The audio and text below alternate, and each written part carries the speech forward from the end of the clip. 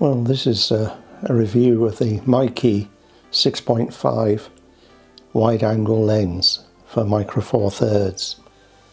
Um, this is a lens in question, metal bodied, um, f2 opening aperture, uh, produces a circular image, well almost circular, you'll see in a moment it crops the top and bottom of your image off but I'm going to show you later how by using editing software you can get a nice circular image for whatever you want to use it for.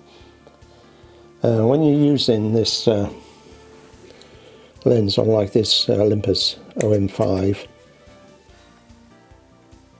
you want to I'll get that into view you want to have the crosshair viewfinder. So your, your routine is if you want a circular image you have to take two shots, one horizontal and one vertical, making sure that your crosshair on the important part of the image is dead in the centre. Uh, you'll see exactly what I mean when I come to edit the image. Now you can, with the Olympus cameras you can set up you can set up the focusing to magnify the area. Now the focusing on this is very basic.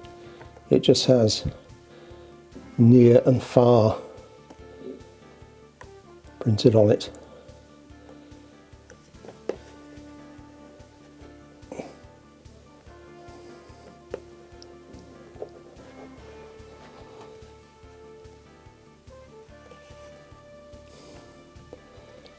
here we are. That's about as that's about as close as I can focus. Which is probably about nine inches away. Luckily the depth of field with these wide angle lenses is absolutely enormous. So you don't have to worry too much about being precisely focused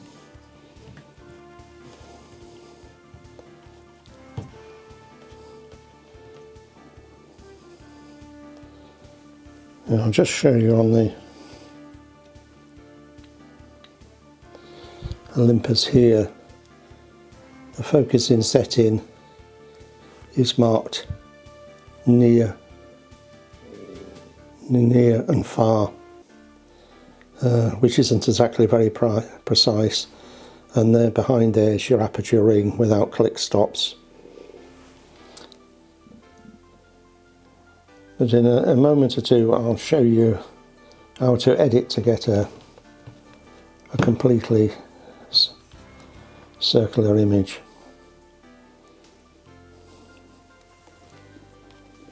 So my camera has been temperamental focusing today. Here we go. As you can see here, the top and bottom of the the image has been lost. So you take two images, one horizontal and one vertical to capture the whole image circle. Anyway, we'll move on to the editing software now and you can uh, see by demonstration what I'm up to. I'm doing a, a voiceover on my uh, computer uh, because the microphone system is being very temperamental so uh, it might be a tad out of sync, but uh, I hope you'll forgive me. You can always say you didn't like the video and get over it that way. Anyway, let's move on to the editing side.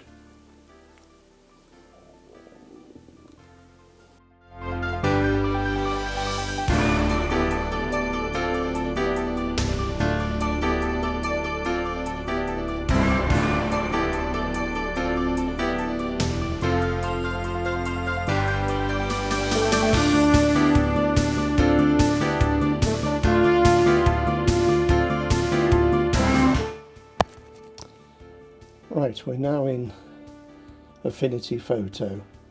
So we're looking at this first image here and as you can see where the, uh, little hand is going on, on the edges there, we're missing the sides there to make it completely circular. I've produced, looking down at the corner there you can see, this is the uh, the guides manager and I've put a, a cross on it just to make life easier for the editing side of things. I've also expanded the uh, the uh, image to a complete square. So this is the other image and what I've done here is I've copied both the edges that we're missing on the uh, first image. So I'm copying now, I'm copying and pasting them back to this image. I'll just turn that layer on. Now you can see by adding a layer mask there, I've been able to uh, seamlessly um, produce a round image.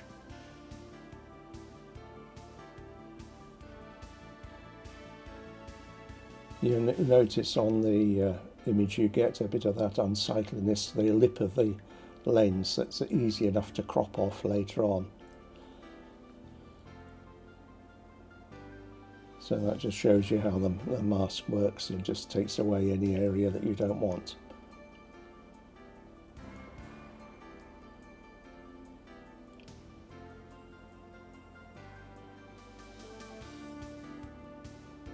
Now I take a circular marquee and using shift in uh, control shift.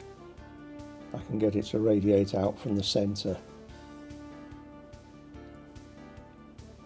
and by adding another layer I can fill that layer in with a colour which I'll turn on now which I've done. And as you can see it produces a, a nice clean image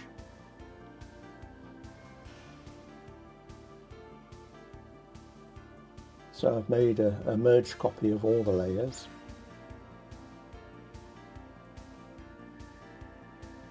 I've duplicated that merged copy